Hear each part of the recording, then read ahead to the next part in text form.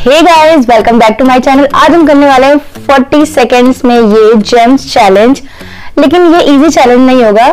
क्योंकि ये मुझे अपने हैंड से नहीं, अपने टंग से इसको उठाना है।